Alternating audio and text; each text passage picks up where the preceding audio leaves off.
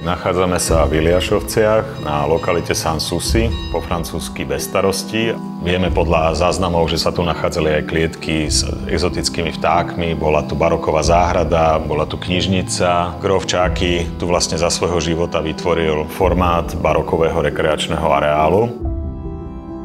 Ten náš návrh, ktorý teraz realizujeme, sa volá Figová jama. Tá jama toho plitkého tvaru slúži nielen na akumuláciu vlhkosti, dažďa, tie kamene, ktoré sa rozohrejú, potom budú asi vrácať to teplo, zároveň by mala poskytovať tej rastline nejaký typ e, závetria. Realizujeme ako keby také obydlie pre tú rastlinu, ktorá prichádza z juhu.